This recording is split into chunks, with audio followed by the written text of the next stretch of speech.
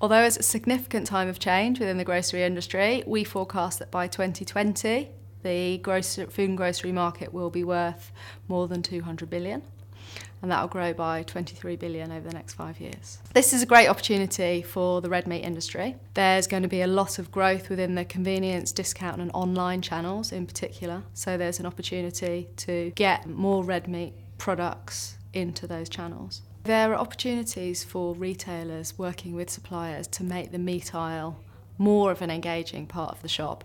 It is at the moment seen as one of the more boring parts of the shopping trip.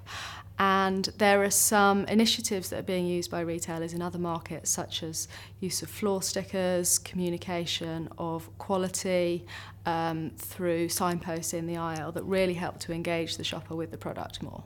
Trust and transparency is an increasingly important area for consumers. They really want to know uh, where their products are coming from, but particularly the journey that um, fresh products are going on from, from farm to fork. And there is a great role for retailers and suppliers to, to play to help create transparency within that area, in stores and online. Scotch lamb and Scotch beef already has a very high quality rating by shoppers um, through the insurance, assurance tracking. And, and why that's really important today is that shoppers' interest in quality is going up. So actually that presents a great opportunity um, with premium cuts and for both of those Scotch brands to really capitalise on the importance of quality with shoppers. My advice to the Scottish red meat industry would be to stay agile and to adapt the products that you're offering to suit the latest trend towards really convenient solutions